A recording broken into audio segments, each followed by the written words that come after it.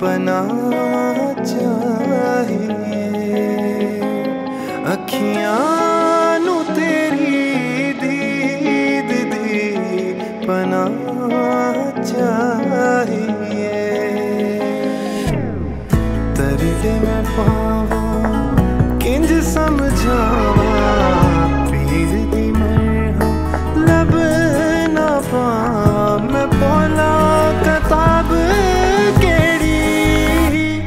ਅੱਖੀਆਂ